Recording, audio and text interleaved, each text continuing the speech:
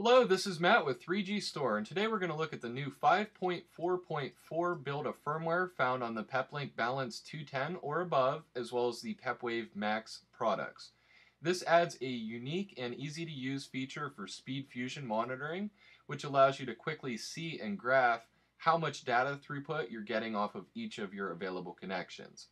So as you can see here, I've got a cable connection set up as well as a Verizon 3G modem and I have a SpeedFusion VPN tunnel established back to our main corporate office where a PepLink Balance 380 is located.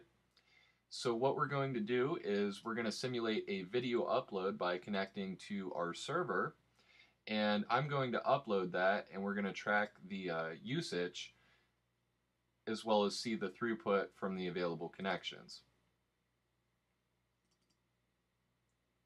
So we're just going to go into movies and we're going to drag a Wilson Sleek accessory kit. And as you can see, as I'm moving through the server, you're seeing a little bit of traffic throughput. But as soon as we start to uh, upload that to the server, we should start to see throughput off of each of the connections.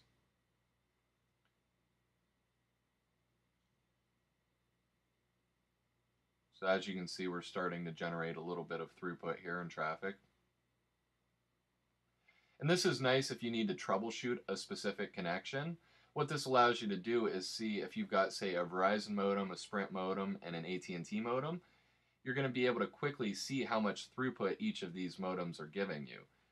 For instance, if you're looking at this graph, you're seeing that I'm getting about 300, uh, roughly about 300 with some dip downs, where on the cable connection, I'm averaging a little over a megabit about one to one and a half in my testing.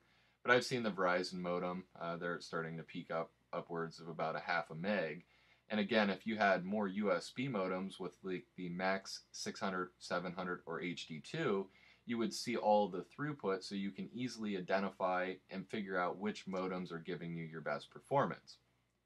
Again, this is found on the new PepLink or PepWave firmware 5.4.4. Thank you.